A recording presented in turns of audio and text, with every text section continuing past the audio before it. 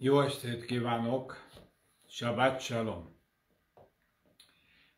Sok kérdés érkezett hozzám, voltak köztük olyanok, amik érdekesek, és voltak olyanok, amik kevésbé érdekesek, és voltak olyanok is, ami, amelyekre már válaszoltam.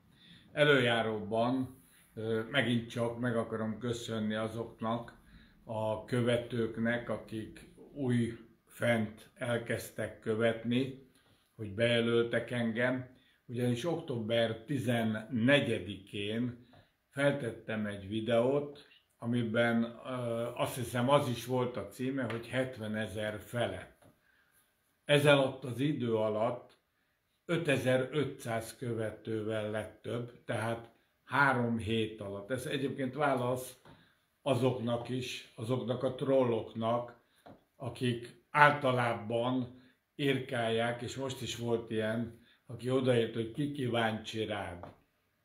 Hát akkor nézd meg, az a 75 ezer embernél is több, aki követ engem, és esetleg az az 1 millió fölötti szám, akik nézték a, azt a videót, aminek az volt a címe, hogy Fási a Fideszes rabló, ö, Rambó, bocsánat ez, ez, ez egy ez, ez szólás volt.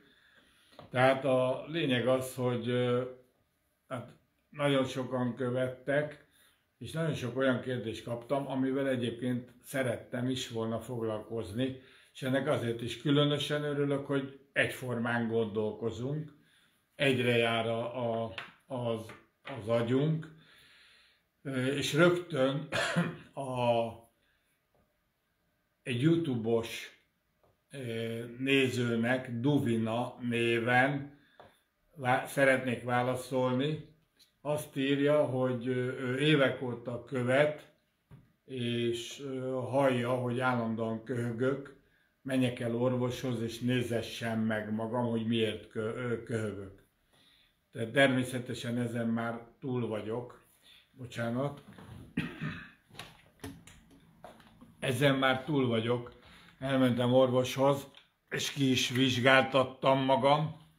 Refluxom van, és ezzel nem tudok mit csinálni, szedek gyógyszert, iszom a refluxos teákat, de hát ez egy nyitott gyomorszáj. Szerencsére a sav nem jön föl ide a torkomhoz, de a savnak a gőze igen. És az irritálja a hörgőket, és ezért kölgök. Tehát nem nagyon tudok ez ellen mit csinálni, de köszönöm szépen, hogy törődsz velem, vagy törődtök velem, és érdeklődtök, hogy, hogy mit csinálok, és hogy miért kövök, vagy, vagy miért nézek esetleg rosszabb állapotban. Ma is egyébként eléggé fáradt vagyok.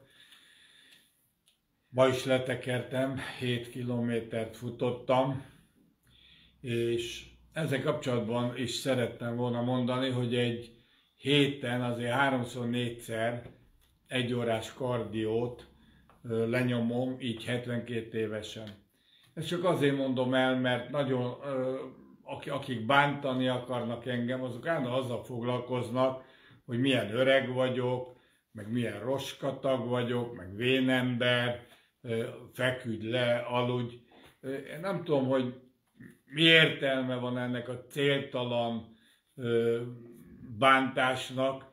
Én nem szoktam sértegetni embereket, én nem is megyek rá más oldalra, nem is írok oda más oldalra.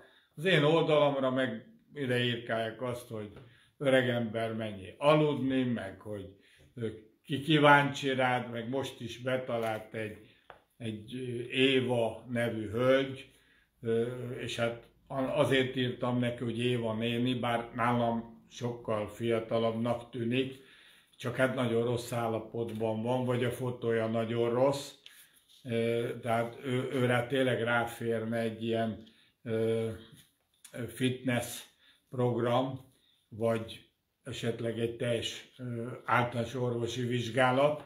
Ő azt írta rá egy fiatalemberre, Rafael nevű fiatalemberre, hogy miért kell tisztelni engem, mert én egy bűnöző vagyok.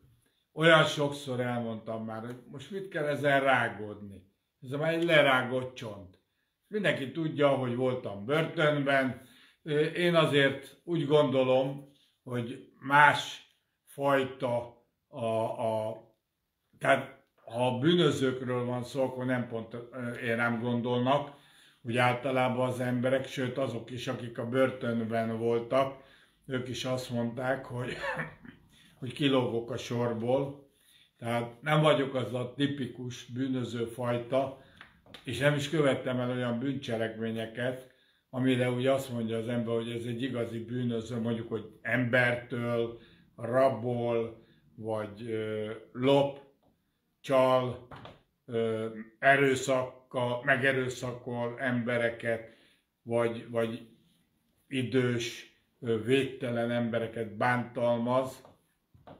De hát ha ez örömöt okoz annak, aki ezt állandóan leírja, hát akkor írja. Csak hát jobb lenne, ha a saját oldaladra mennél és ott írkálnál, és nem is értem, hogy, hogy mazoisták vagytok. Miért írkáltok az én oldalamra, vagy miért néztek, ha nem kedveltek. Tényleg ez, ez megmagyarázhatatlan. Tényleg el kéne menni egy elmeszakorvoshoz nektek, és vizsgáltassátok meg magatokat, mert én például csak olyan oldalra megyek rá, ha rámegyek egyáltalán, ami, ami érdekel. És aztán elolvasom, és mit tudom én, ha van véleményem, akkor leírom, de soha nem ö, sértegetem a másikat, mert hogy ö, semmi értelme nincsen. A másik, ja igen, ez még az én kérésem lenne, hogy ö, hát ugye folyamatosan ö, küldöm a könyveket, készítem ezeket a egyperces videókat, most pláne jön majd a karácsony, tehát van is apropója, hogy milyen videókat készítsek és küldjek személyre szólóan. A problémám csak az, hogy személyesen mindig megköszönitek, hogy milyen korrekt voltam, milyen gyorsan szállítottam le a könyvet. Sokkal jobb lenne, ha ide leírnátok, mert ugye akkor a többi érdeklődőben is felkeltenétek egyrészt az érdeklődést, másrészt a bizalmat. Sokszor elmondtam már, amikor megkérdezik, hogy nem lehetne utánvédtel elküldeni a könyvet. Nem, mondom, nem lehet. Előre kell utalni az összeget.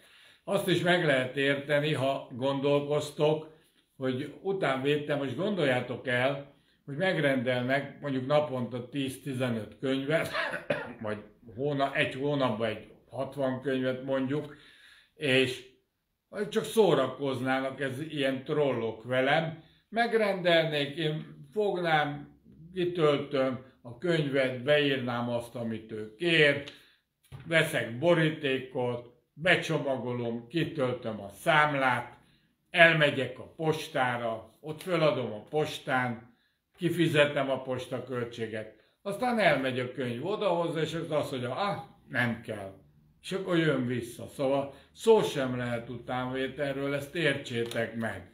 Csak úgy lehet, hogy jelentkeztek, hogy könyvet szeretnétek vásárolni, és akkor szépen elmagyarázom, hogy hogyan lehet. De ezt már sokszor elmondtam, hogy SMS-t kell küldeni, de előtte velem kell megbeszélni.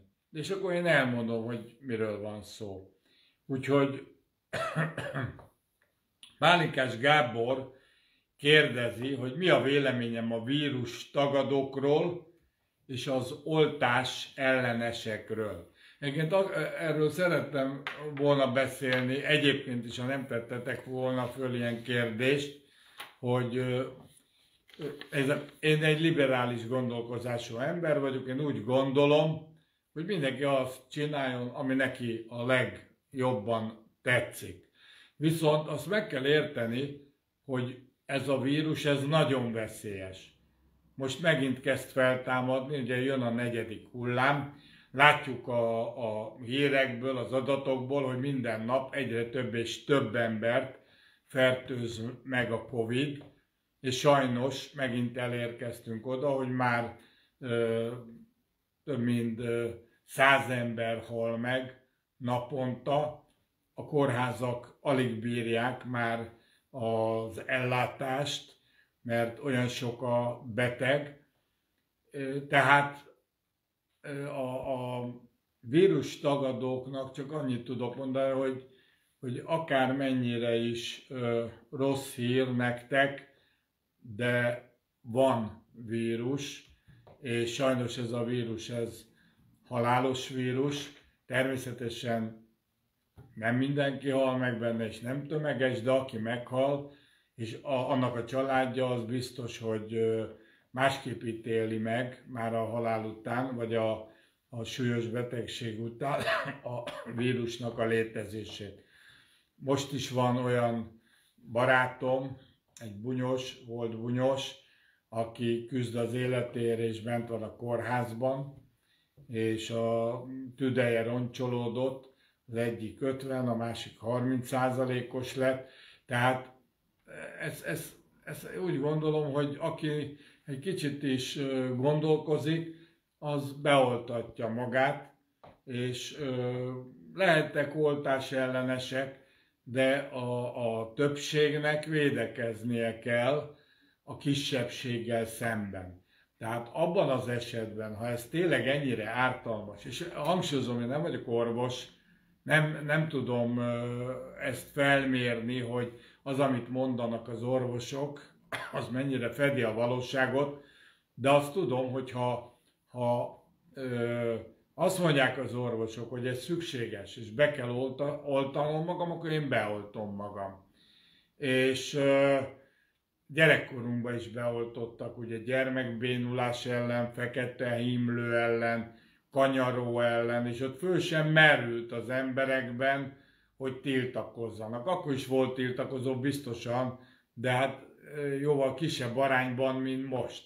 Ez az internet, ugye ez kinyitotta a világot mindenki előtt, itt mindenki azt írhat le, amit akar, vannak összeesküvés elméletek, és ö, én is láttam olyan videókat, ahol 50 ö, tudós nyilatkozott arról, hogy ez a háttér hatalmaknak a biznisze, és hogy ez, ez, ez nem szükséges, és ne engedjétek, hogy beoltsa, beoltsanak titeket, és stb. stb.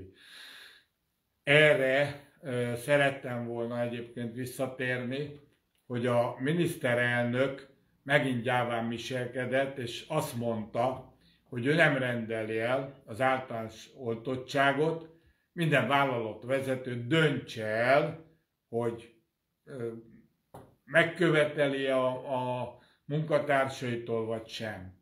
Na most gondolja, gondoljátok végig, melyik az a vállalatvezető, aki veszi a bátorságot, hogy ő egy ilyen kérdésben döntést hozzon. Hát először is, ha azt mondja, hogy kötelező az oltás, akkor esetleg elmennek a alkalmazottak, tönkre megy a vállalkozás.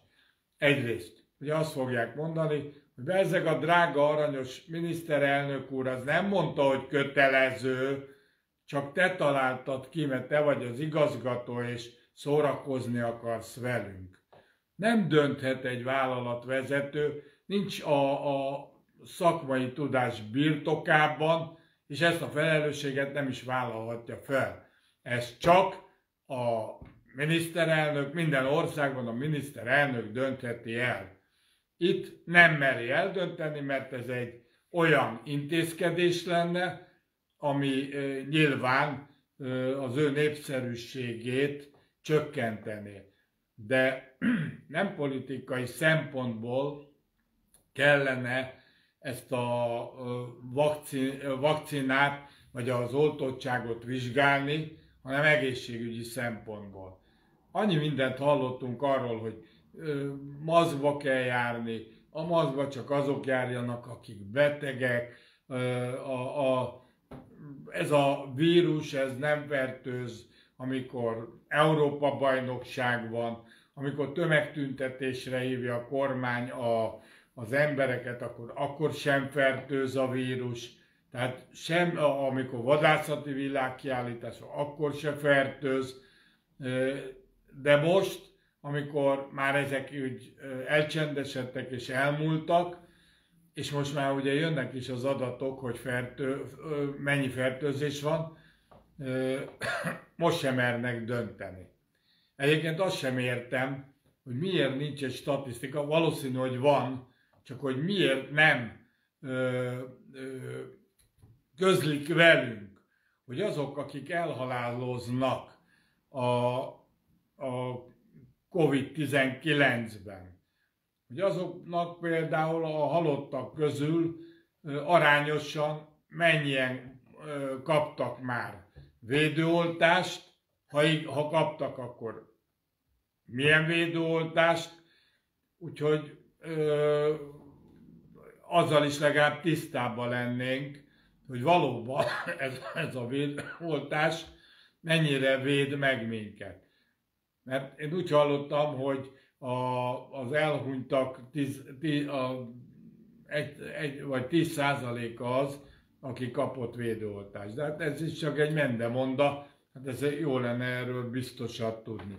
Tehát a Pálinkás Gábornak azt üzenem, hogy az oltás ellenesekkel és a vírus tagadókkal én személy szerint nem értek egyet, és arra gondolok, hogy ők azért veszélyesek, mert a, a többi emberre nézve fertőzést terjeszthetnek, és ha én is megbetegszek, attól függetlenül, hogy kaptam ö, oltást, ö, és valószínű, hogy én nem állítólag azt mondják, hogy ö, enyhébb lesz a lefolyás, és nem kerül kórházba, nem kerülök lélegeztetőgépre, és nem halok bele, de nyilván nem örülnék neki. És ez egyébként minden ilyen szituációban, mikor volt a, a dohányosok és a nem dohányosok közti ö, küzdelem is, akkor mindig a, a dohányosok fel voltak háborodva, hogy őket miért szorítják ki.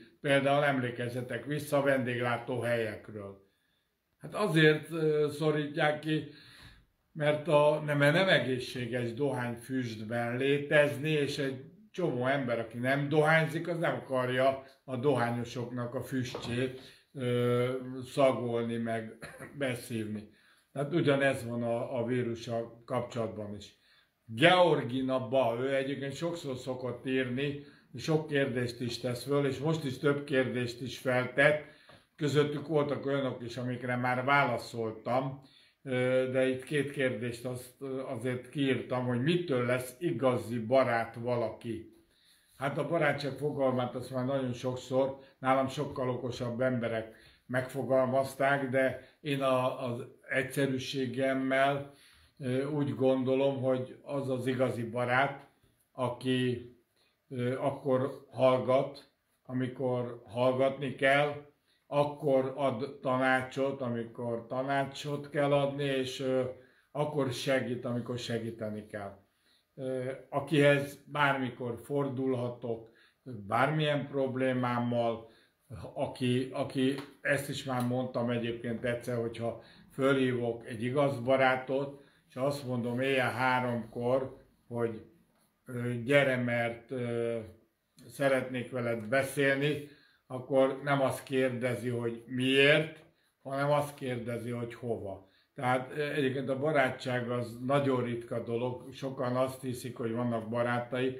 Én is azt hittem, még amikor fényűző életet éltem, és sok pénzem volt, és befolyásom, akkor nagyon-nagyon sok barátom volt.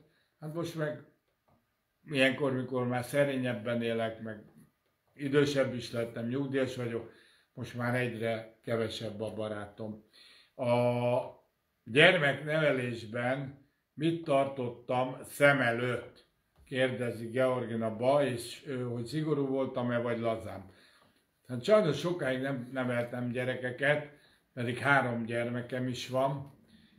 Az első házasságomból két fiam született, őket ilyen 10-11 éves korig neveltem. Egyébként én egy konzervatív ember vagyok, liberálisan, tehát konzervatív liberális. Az azt jelenti, hogy nem az a szemellenzős, a, a, a állandó szigort és a a, a régi beidegződéseket megkövetelő ember, tehát hajlamos vagyok elfogadni a, a javaslatokat is, de a gyerekekkel kapcsolatban a gyerekeknek a verését azt semmiképpen nem javaslom. Engem elég sokszor megvert az édesapám, katonatiszt volt, és abban az időben, ugye 50-es évek elején voltam kisgyerek, és egy végtelen rossz csont voltam, és akkor az édesapám hazajött, lecsatolta a nadrágszíjat, és bim, jól elvett, és elég sokszor. Én e, éppen ezért, mikor én felnőtt lettem, és gyerekeim lettek, a gyermeknevelésben a, a, a verést és az erőszakot azt nélkülöztem. Sokkal jobban lehet inkább az értelmére hatni, még egy kisgyereknek is, és így próbálok egyébként a, az, a, a, azokkal is beszélni, vagy kapcsolatban maradni, akik, akik engem méltatlanul pocskondiáznak, szídnak, és nem, nem, nem ugyanazt adom vissza nekik, amit ők dobnak felém, hanem megpróbálok finoman és szépen hatni a lelkükre, vagy az értelmükre, és igen, tudom, van olyan, akinek sem lelke, sem értelme nincsen, de hát akkor is meg kell próbálni. A kérdések itt közben jönnek, csak nem nagyon látom, hogy milyen kérdések jönnek. Másik meg az, hogy elég sok kérdést itt föl is írtam magamnak, úgyhogy addig, amíg tart a kérdés, addig megpróbálok ezekre válaszolni, de, de megpróbálom azt is elolvasni, ami is ott van. Például Gáspár Kriszt nem tudtam elolvasni, Gatti. 23-án nem számított a vírus, massz nélkül, százezer ember egy tömegben. Ez a felelős miniszter, hát erről egyébként beszéltem, hogy igen, nem jó, ha, ha, ha csak akkor tiltjuk meg a, az embereknek a, a egymással való kapcsolattartását, amikor a mi érdekünket szolgálja, hanem úgy kell dönteni, hogy az mindenképpen egészségügyi szempontokat figyelembe véve. Kisavna Dóra, mi a véleménye a politikai vonalon futó 3 per 3-asokról?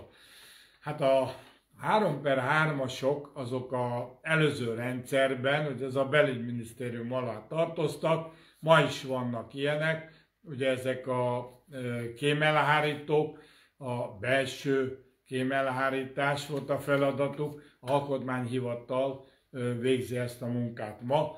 Abban az időben az volt a feladatuk, hogy a, a terror cselekményeket kiszűrjék, vagy megakadályozzák, vagy például akik az alkotmányos rend ellen fellázadnak, vagy szervezkednek.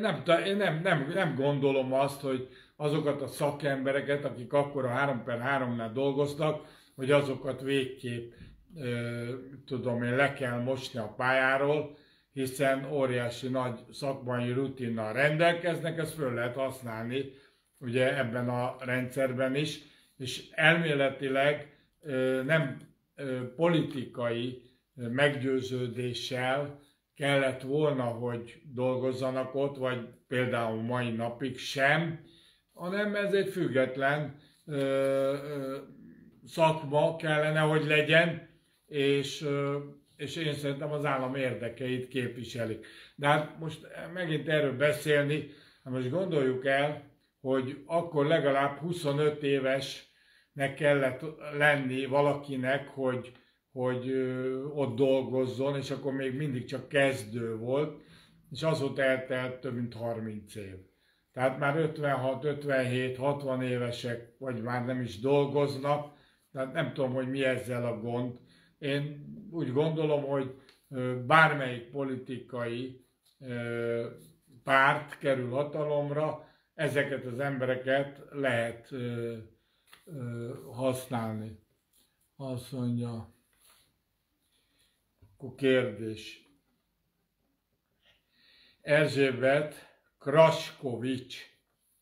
A, gyengék lát, a gyengén látóknak, vakoknak hangos könyvet kellene csinálni. Ez már szó volt erről a hangos könyvről, aztán föl is vették velem a kapcsolatot azok, akik ezt a hangos könyvet forgalmazzák, de hát azt mondták, hogy az lenne a legjobb, hogyha én olvasnám föl ezt a könyvet, de hát én nem tudom ezt vállalni, lehet, hogy majd eljön az idő. Biztosan nagyon sokan meghallgatnák, mert van, aki nem szeret olvasni, van, aki hosszú útra megy, mondjuk autóval, és akkor ilyen MP3-ban, vagy mit tudom én, min hallgatja, és hát igen, a fogyatékosoknak is esetleg ez hasznos lenne.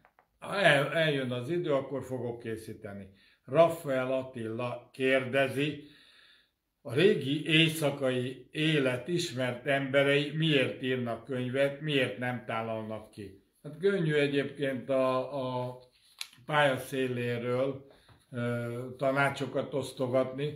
Egyébként véleményem szerint azért írnak könyvet, akiket én legalábbis ismerek, ugye a Radnai Lacit, a Jurányi Zsoltot, vagy a Hódosi Zolit ismerem, hogy, hogy ők miért írtak könyvet, meg hogy én is miért írtam. Szerintem az ugyanaz a kategória, mert van bennünk olyan sok ö, élményanyag, amit szeretnénk átadni a, a nagy közönségnek, és arra, én például arra gondoltam, hogy lehet, hogy azzal segíteni tudok az embereknek, hogyha leírom, hogy én miken mentem keresztül, és hogy miken nem kéne, hogy a mai fiatalok keresztül menjenek.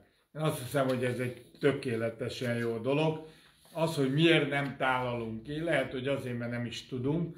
A másik meg az, hogy ha, ha már részt vettünk bármiben is annak idején, akkor nem az a módja, hogy itt most elmondjuk nektek nyilvánosság előtt, ma akkor aztán tényleg mondhatják, hogy Vamzer, meg így is mondják, tehát azt sem tudják, hogy mit jelent, csak mondják, mert ez nekik tetszik, hogy ők ilyet mondhatnak. Székely Böbe. Hány oltást kaptál és miért? Én egyébként három oltást kaptam, ebből az első kettő Sinopharm volt, a harmadik pedig Pfizer és ha majd azt mondják, hogy kell egy negyedik, akkor majd negyediket is fogok kapni. Tóth István, hallott-e már a világot mozgató háttérhatalomról? Mit gondol erről? Mit gondol, ha baloldal nyer, akkor lebontják a határkerítést? Mit gondol a migrációról, mit gondol a kötelező oltásról? Kötelező oltásról már nagyjából beszéltem, bár konkrétan nem adtam választ. Én úgy gondolom, hogyha a, a, egy kormány úgy dönt, hogy kötelező, akkor, akkor én fölveszem minden további nélkül. Hát ugyanúgy, mint a bármi másra köteleznek, a autót sem vezethetek jogosítvány nélkül, hát akkor elrendelik. Nyilván egészségügyi szempontokat figyelembe kell venni, olyan emberek nem kaphatnak oltást, akikre ez ártalmas lehet, akármilyen szinten, de a nagy többséget nyugodtan be lehet oltani, véleményem szerint ebből semmi probléma nem lehet. A migrációról azt gondolom, hogy mindig is volt népvándorlás, és lesz is. És arra, arra gondolok, hogy persze jó dolog, hogy nem engedik be a, a migránsokat, már legalábbis olyan nagy számban nem engedi be az Orbán kormány, mint ahogy az olaszok, vagy spanyolok, németek, franciák, stb. De hát így is engednek be migránsokat, és ez az a kettős beszéd, ami egyébként nekem nem tetszik, mert azt mondják, hogy harcolni kell a migráció ellen, és ugyanakkor mégis több ezer migránst beengednek évente az országban, országba, tehát is látjátok nyilván, hogyha mozogtok, hogy milyen sok idegen éli. Természetesen nem jó dolog, de, de ha segíteni kell egy emberen, akkor, akkor, akkor nincs mese. Hát most gondold el, hogy, vagy gondoljátok el, például Afganisztánban ölik az embereket. Csak azért, mondjuk a nőket, mert nem akar csadort viselni, vagy mert sportolni akar, vagy mert énekel. Most hallottam, hogy volt egy esküvő, engedélyes zenét hallgattak, na most ez is micsoda egy őrület, hogy engedélyt kell kérni ahhoz, hogy zenét hallgassak, és zenét hallgattak Afganisztánba engedéllyel, bementek ilyen táli harcosok, mondták, hogy azonnal zárják le a, a zenét, ezek mondták, hogy de engedélyük van rá. Nem érdekes, és fogtak és szanaszét lőttek egy csomó ember. Tehát ez nem normális világ. Ha azok az emberek, akik onnan menekülnek, azokat be kell fogadni. Ha tetszik, ha nem. Itt nincs mese. Segí, ha, ha, ha, vagy különben nem mondjátok azt, hogy ti keresztények vagytok, meg a római katolikusok vagytok, na akkor csak duma, hogy, hogy ti vallásosak vagytok, csak éppen a, a, a vallási tanításokat azt nem tartjátok be. Ha baloldal kerülne hatalomra, nyilván nem ö, bontaná le a kerítés, de egyébként bárki kerül hatalomra, nem bontanák le. A kerítés az egy nagyon jó dolog, ezzel valóban tömegeket lehet megállítani az országhatáron, és ö, nyilván sokkal jobban lehet ellenőrizni, hogy kiket engedünk be a, a mi országunkba, és ez, ezeket nyilvántartásba is kell, vagy, vagy tudjuk akkor venni.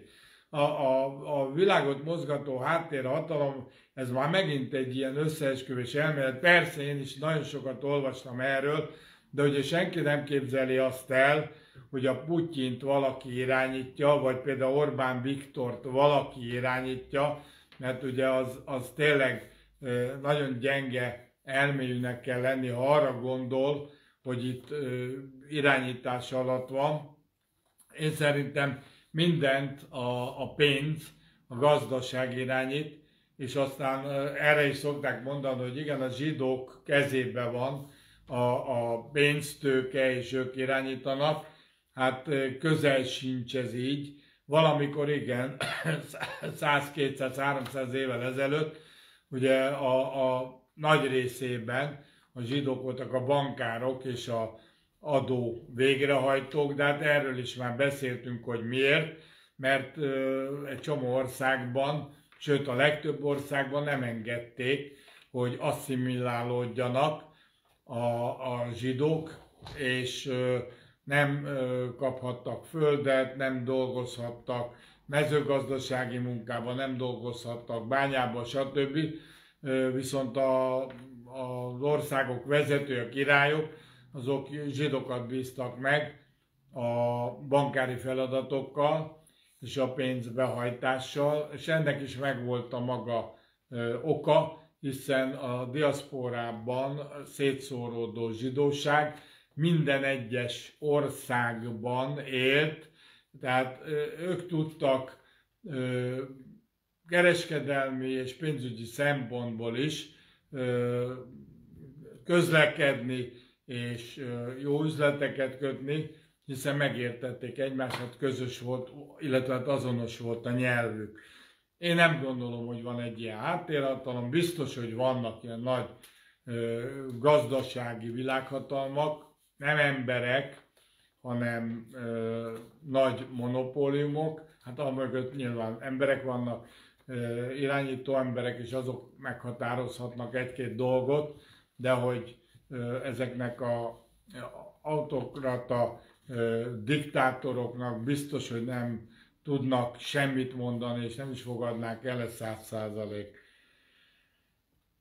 Azt mondja, hogy egy, egy idióta kérdés, és csak azért olvasom föl, hogy azért lássátok, hogy vannak itt azért retardáltak is. Szabolcs Péter katona azt mondja nekem, hogy fel, megkérdezi, felvetted a csokkot, meg a babavárót. Hát biztos nagyon vicces akart lenni. Ugye 72 éves embernek nem adnak csokkot, mert hát nekem már babám se lesz, öt unokám van egyébként, és három gyermekem, úgyhogy nem vettem fel. Pinker Károly, gyermekként mi szeretett volna lenni? Mit sportolt volna, ha így most így visszagondolok? Hát először is gyermekként én katona akartam lenni, katonatiszt, hiszen az édesapám is katonatiszt volt, és ő volt a példaképpen. Egyébként ezt a könyvemben meg is írom, úgyhogy akit érdekel, bővebben az, az, az, az ott elolvashatja. Egyébként végig sportoltam, az egész fiatalkoromat. Birkoztam és ökölvívást folytattam, birkozásban versenyeztem is, de különösen nagy eredményeket nem értem el, és ez főleg azért volt, mert Kos a csillagjegyen, és a Kos az állandóan új és új célokat tűz maga elé. És akkor, mikor már valamit elértem, például a birkózásban, Budapest bajnokságon második helyzet voltam, jó, nem nagy cím, de hát akkor még fiatal is voltam, 16 éves, már nem is annyira érdekelt, akkor átmentem a bunyóba, a bunyóból elmentem katonának, és amikor katonaságról leszereltem, akkor már családot alapítottam, és a család alapítása és a gyerekek nevelésével voltam elfogadva, és a pénz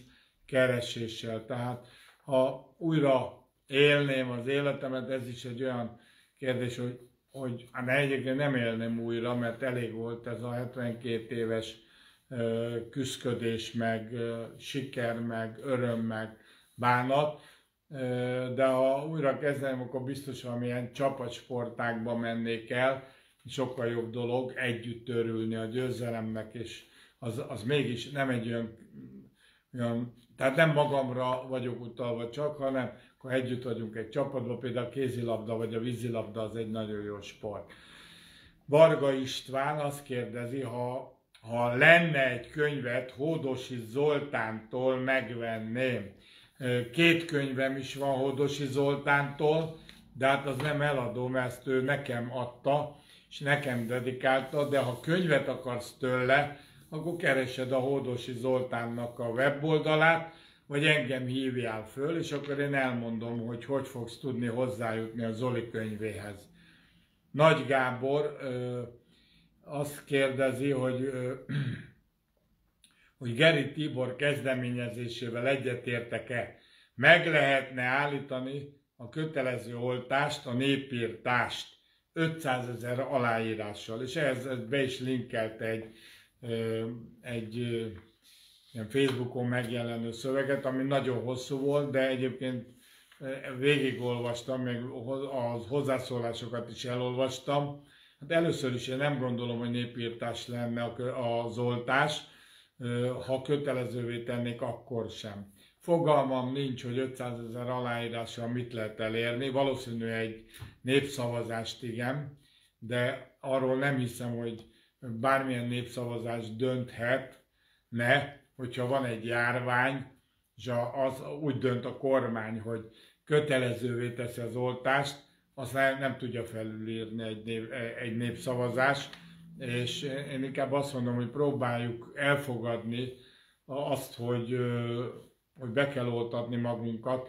Én mondom, nekem nagyon sok barátom sajnos meghalt ez alatt a másfél-két év alatt, és a Izrael, ami a legjobban átottott ország, és Izraelben a oltás ellenesek vezetője, a, aki a legjobban tiltakozott a, a Covid oltások ellen, az meghalt most a napokban, és még a halálos ágyán sem bánta meg, hogy harcolt az ellen, az oltás ellen, ami őt életbe tartotta volna. Hát én úgy gondolom, hogy ezek az emberek nem normálisak, eszelősek, és hát ott van a példa, hogy meg is halnak. Judith Glázer dr. Zimmermann kérdezi, mit gondolsz Péter, téged megfigyeltek az izraeli kém szoftverrel?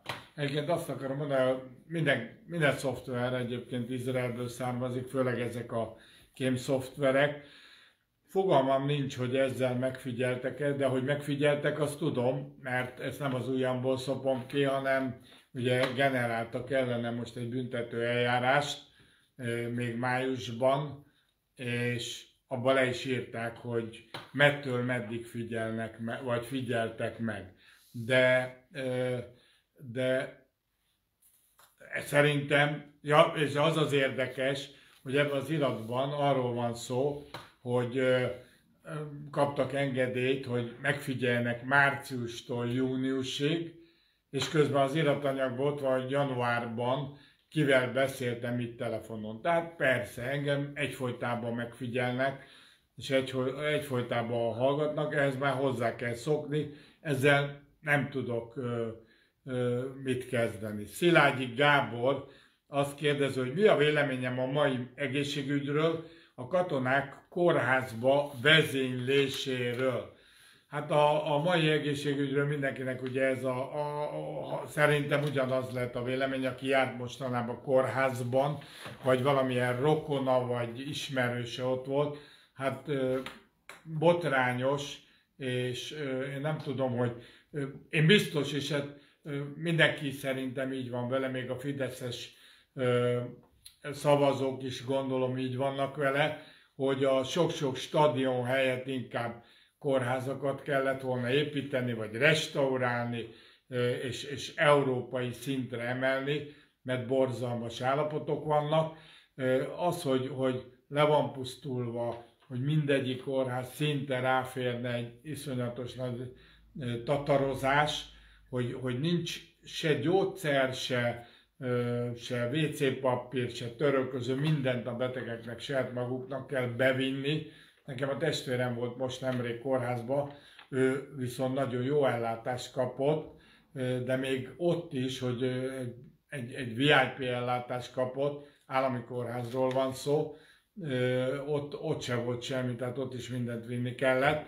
Viszont az orvosok, az ápoló, azok, azok fantasztikusak, mindent megtesznek annak érdekében, hogy, hogy, hogy a beteg felgyógyuljon, és én úgy gondolom, hogy a magyar egészségügy tudományosan vagy szakmailag nagyon felkészült, és én legalábbis bízok a magyar orvos társadalomban, és hát minden nagyobb megbecsülést kéne az orvosoknak és az ápolóknak biztosítani. Kelemen Attila, mi a véleményed Bolya Zoltán jó útra téréséről? Erről már volt szó előtte való héten, meg azelőtt is, hogy nem ismerem ezt a fiatalembert, a könyvét sem olvastam, és ö, nem tudok róla semmit sem mondani.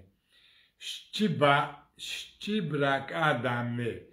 Hogy lehetne megoldani, hogy a sok-sok román-ukrán ne szavazhasson a mi életünkről. Hát ez a, ez a szavazás, ez is egy egyébként egy botrányos dolog, hogy a határon túli szavazók, hát ismeritek a véleményemet, akik úgy rendszeresen hallgatok, azok tudják, hogy ellene vagyok annak, hogy a határon túl élő emberek itt Magyarországon szavazzanak. És kérdezte is egy erdélyi ember tőlem, hogy mi a problémám velük. Hát semmi problémám nincs a határon túli magyarokkal.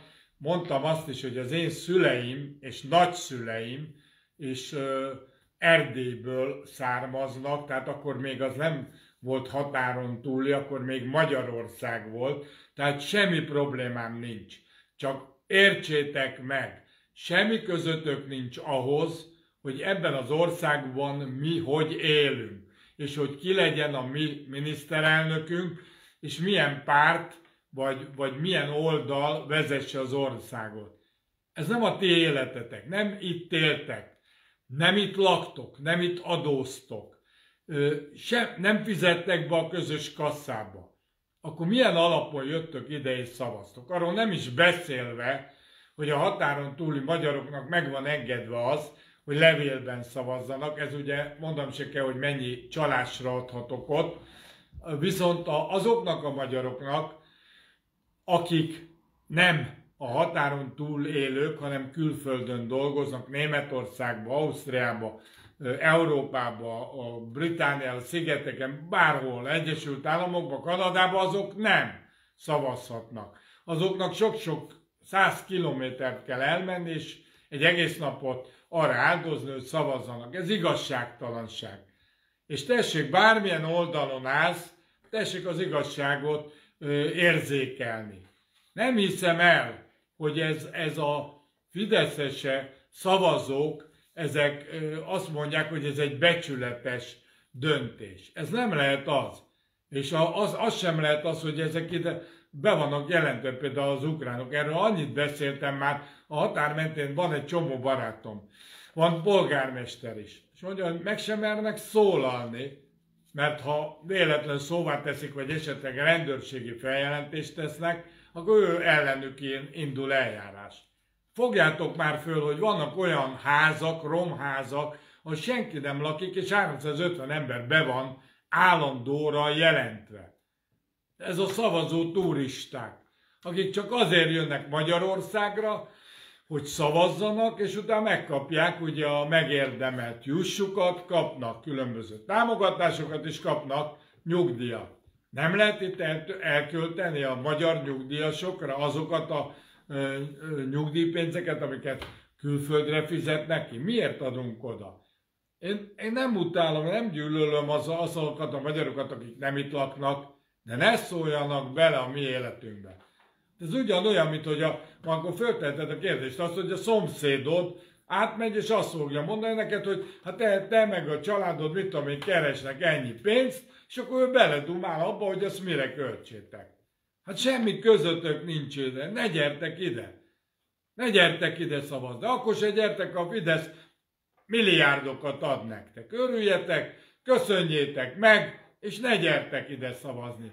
Mert nem igazságos mert nem szeretünk ezért titeket. A következő, Darvas Zsolt. Kedvenc étel-ital hobbi.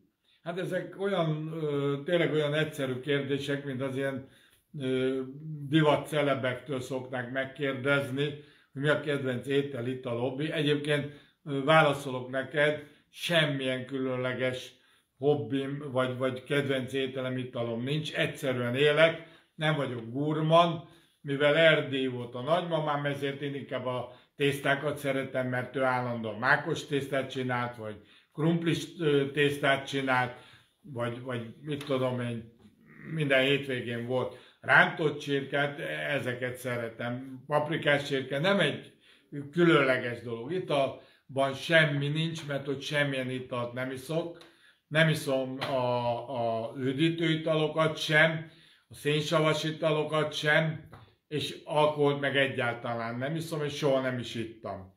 A hobbim az meg általában a sport, meg az olvasás, e, ebbe merül ki most ez a történet.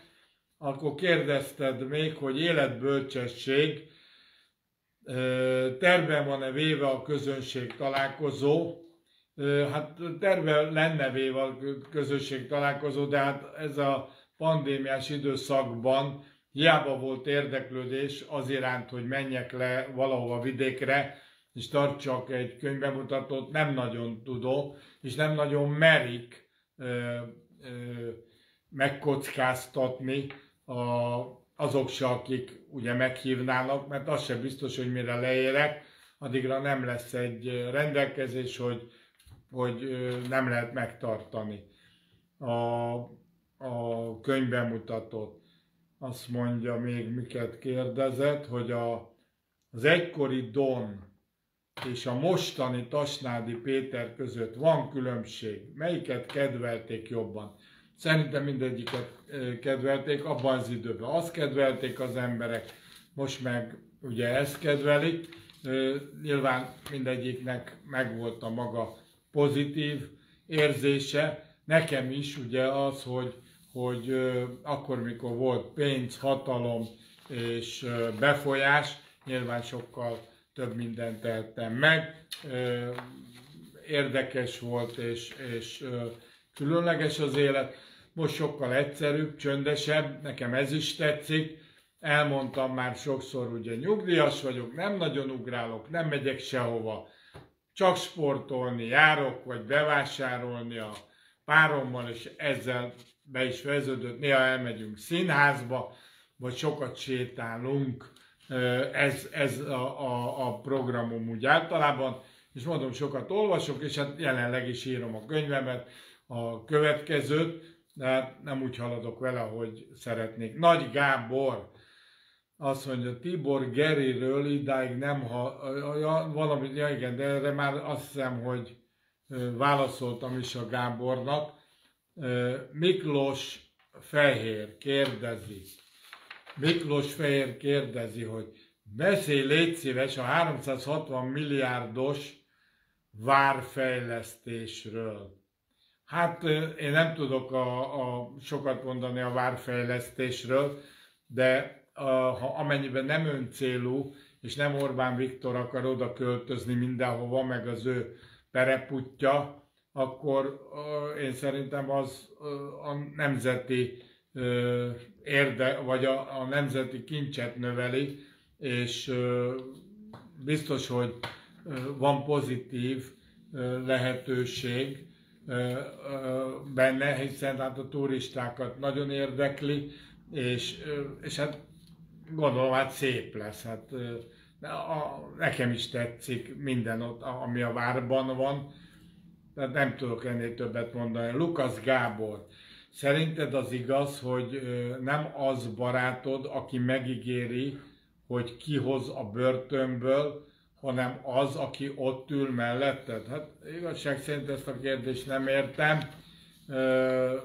Senki nem tud kihozni a börtönből, még az ügyvédek sem pláne akkor, ha elkövetett az ember valamilyen bűncselekményt, akkor le kell tölteni a börtönbüntetést és kijössz. Hát nem nagyon értem a kérdést. Az meg, akivel együtt vagy a börtönben, lehet ott is egyébként barátságokat szőni, de én úgy vettem észre, és azt tapasztaltam, hogy akikkel voltam, és jól éreztem magam ott, amikor kiszabadultunk, akkor mégsem találkoztunk vagy, vagy nem sűrűn, mert mindegyikünknek már más az élete, más a, mások a tervei, mások a célok, úgyhogy e, ennyit tudok mondani. Ezt nem tudom elolvasni, Riggy Veronika, azt mondja, mi a véleménye a mostani éjszakai életről és a régiről. Nem tudok mondani semmit a mostani éjszakai életről, mert hogy nem járok éjszakába. A régiről pedig leírtam a könyvemben, hogy mi a véleményem, meg hát egyáltalán, hogy én is ugye részt vettem benne. Tehát megint csak azt tudom mondani, hogy tessék megvenni a könyvet, és akkor fogja, fog egy az egyben hallani arról, hogy milyen volt a 90-es évek éjszakai élete. Huszár Zsóka érdekel a véleménye, hogy gyárfást elítélik-e, vagy megúszza. Persze, amíg nem ítélik el, megilleti az ártatlanság vélelme. Véleményem szerint, persze ugye nem vagyok jós, nem tudom megmondani, de nagy valószínűséggel el kellene, hogy ítéljék, de, de hogy mi lesz ennek a vége, és hogy itt milyen játszmák vannak a háttérben, azt nem tudom. Hát ugye a gyártás azért nem ennek a politikai trendnek a, a édes gyermeke, sőt mondhatnám, hogy nagyon nem. Tehát nem hiszem, hogy ebből a szempontból felé ö, lenne valami segítség, de hát a gyárfásnak elég sok pénze van, tehát ott bármi lehet. Most ilyen hülyeség, Tatai Mário, hogy te tudsz verekedni. Ja, 72 évesen biztosan ez a legfontosabb az életemben. Tehát erre nagyon nem tudok mit mondani. Mindenesetre nagyon hosszú ez a, ez a bírósági tárgyalás. Már ugye tart egy éve, két éve, nem tudom, és még hosszú-hosszú ideig fog tartani, hiszen rengeteg tanút kell meghallgatni, szakértőket, nyilván a gyárfásék mindent megfognak támadni, semmit nem fognak elfogadni, és hát jó ügyvédek vannak a Gyárfás Tamás mellett, úgyhogy ők minden jogi lehetőséget ki fognak használni annak érdekében, hogy minél hosszabb időt tartson a, a tehát hogy minél messzebb legyen az ítélet. És hát ugye azt ismerjük, hogy aki időt nyer, az életet nyer. Már ebben az ügyben, ha bűnösnek fogják mondani, itt az idő múlása nem számít, mert ugye ez egy életellenes cselekedet. Dezső Pintje kérdezi, hogy ön hogyan gondolja magáról? Jó embernek tartja magát? Hát, igen, én jó embernek tartom magam, de nem csak én tartom jó embernek magam, hanem azok az emberek, akik velem kapcsolatban voltak. Lehet olvasni ugye a, az én oldalamon, a bejegyzéseket, ahol volt munkatársaim, barátaim, leírják, hogy én milyen ember voltam. Én nagyon sok embernek segítettem, segítőkész vagyok, most is segítek, ma ezt is sokszor elmondtam. Már anyagilag nem vagyok olyan ö, szituációban, hogy pénzt tudjak adni, de, de mindenben segítek. Tehát ha engem valaki megkeres, hogy segítsek abban, hogy elhezzem a gyereket óvodába, vagy mit tudom én, kell egy jó munka, vagy segítsek abban, hogy hol lehet a legjobb autót szerezni, vagy hogy lehet pénzt keresni, ezekben úgy általában rendelkezésre szoktam állni. Mezita Katalin, azt mondja, én 45 évet éltem az éjszakában, soha nem féltem, nem úgy, mint most. Annak idején élt a betyár becsület. Péter, javaslatai szerint tudtam a pénzemet visszakapni, nem erőszakkal helyes, örülök neki. Egyébként én is azt mondom, hogy a, akkor, akkoriban a, az éjszakai élet az sokkal erkölcsösebb volt, és sokkal kiszámíthatóbb. A mai nem tudom, még egyszer mondom, persze hallok ezt, azt, azt, de most már úgy tudom, hogy mindenki szinte a rendőröknek dolgozni, és Ja, most kaptam egy másik kérdést, vagy, vagy egy választ. Fodor Nándor írja, alig várom, hogy szavazhassak. Üdv Erdélyből. Hát, kedves Nándor, akkor szavazzál. Mi nem örülünk neked, úgyhogy nem örülünk senkinek, aki tőletek idejön és szavaz. Mi sem megyünk a ti országotokba, és nem szavazunk ott. De hát szíved jogot, ha akarsz, akkor akkor szavazzál. Patai István, van egy barátom, aki négy évet kapott fegyházban. Fegyházban lehet dolgozni, természetesen ott is lehet. Annyi a fegyház, hogy az annyival szigorúbb, mint a börtön, bár nem sok a különbség, hogy a fegyházban állandóan zárva vannak a, a, az ajtók, és ugye csak arra az egy órára tudnak kimenni, amikor sétára viszik őket, vagy valamilyen sportfoglalkozásra. Azt mondja, Tottai Márta azt mondja, hogy mester halál után van élet. Hát ez jó lenne tudni, fogalmam sincs. Bízok benne, hogy nem csak ez, a, ez az élet van, amit mi élünk, hanem több dimenzió van, és több életünk is van, és hogy a lelkünk örök. Hát majd meglátjuk, vagy nem tudom, hogy meglátjuk-e, de fogalmam sincs, hogy van-e. Na most volt olyan kérdés is, hogy külföldre küldök-e könyveket. Ezt is számtalanszor elmondtam, hogy mindenhova küldtem könyvet. Egész Európába, Kanadába, Dél-Amerika, stb. Tehát küldök, tehát bátran, igen. Aki jelentkezik külföldről, annak is tudok könyvet küldeni, és akkor így befejezésképpen megköszönöm azt, hogy meghallgattatok, és fogok rendszeresen jelentkezni így élőben, de, de adjatok ötleteket, hogy, hogy miket mondjak, vagy mire vagytok kíváncsiak.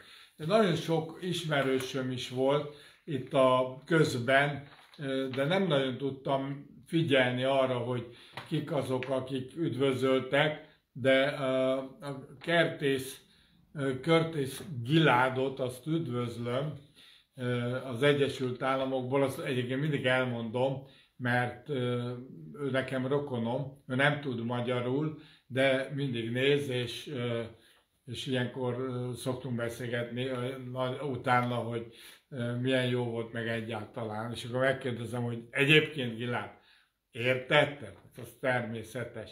Azt mondja, Makula Szilvia, elnézést kérem Péter, de ha nincs, ha nincs felesége vagy élettársa, én szívesen megismerkedik el, ne vegye tolakodásnak. Ezt a Szilvia írja, feleségem nincs, élettársam van, úgyhogy én már nem ismerkedek. Szerintem most az elkövetkezendő 20 évben most nem leszek független, utána megbeszélgethetünk róla, mert végül is még csak 92 éves leszek, úgyhogy ölelem a Szilviát, beszélgettem is vele azt hiszem hosszan telefonon keresztül.